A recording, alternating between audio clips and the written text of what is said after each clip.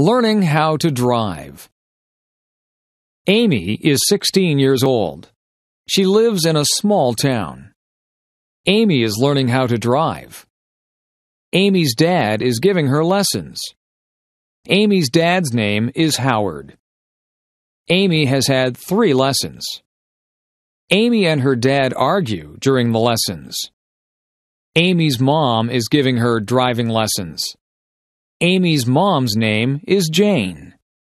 Jane has given Amy a lesson. Jane has decided to stop giving Amy lessons. Jane and Amy argue during the lessons too.